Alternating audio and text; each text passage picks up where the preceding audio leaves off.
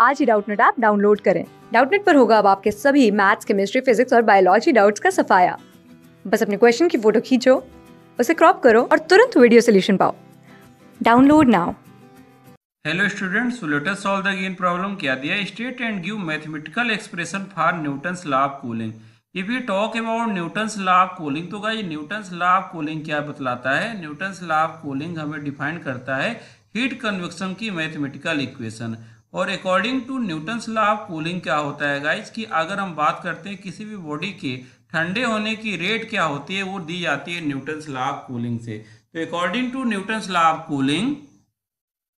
the rate of heat loss of body is proportional to difference in the temperature between body and its surrounding अगर हम guys इसको mathematically लिखना चाहें तो वे can say कि जो बॉडी से हीट ट्रांसफ़र की रेट है we can say heat loss भी हम इसको बोल सकते हैं क्योंकि बॉडी ठंडी हो रही है। तो गाइज़ अगर हम कंसीडर करते हैं कि सपोज़ हमारे पास कोई एक बॉडी है हमने एक बॉडी कंसीडर किया और उस बॉडी का टेम्परेचर अगर हमने टी बी बोला that temperature of the body और बॉडी के सराउंडिंग में हमने कंसीडर किया कि बॉडी के सराउंडिंग में क्या है? एयर है। और उस एयर का टेम्परेचर हमने टी एस कंसिडर किया डेट टी सराउंडिंग तो अगर हम कंसीडर कर रहे हैं कि बॉडी का टेम्परेचर सराउंडिंग के टेम्परेचर से ज़्यादा है तो बॉडी कूल होगी। और बॉडी से जो हीट का ट्रांसफ़र होगा डेट ड्यू टू कन्वेक्शन हो रहा है हीट का ट्रांसफ़र वो हम हीट ट्रांसफ़र की रेट हम कैसे लिखने वाले हैं? That D Q upon D T अगर हम लिखेंगे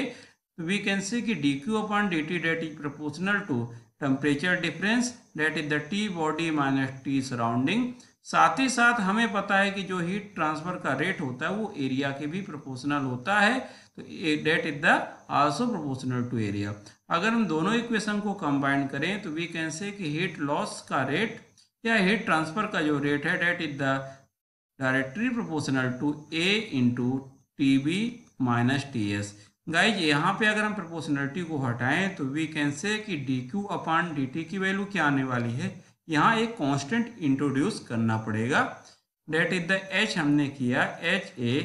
T V minus T S guys h constant जो हमने इंट्रोड्यूस किया, उसी को बोला जाता है that is the heat transfer coefficient तो एच हमारा क्या है?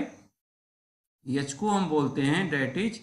heat transfer coefficient जो क्या बताता है गाइज़ जो ये बतलाता है कि बॉडी में हीट का ट्रांसफ़र किस सिचुएशन में कैसे हो रहा है, फोर्स कन्वेक्शन के थ्रू हो रहा है, नेचुरल कन्वेक्शन के थ्रू हो रहा है तो एच यहाँ पे एक इम्पोर्टेंट पैरामीटर है। तो इस तरीके मैथमेटिकल मॉडल को भी एक्सप्रेस किया।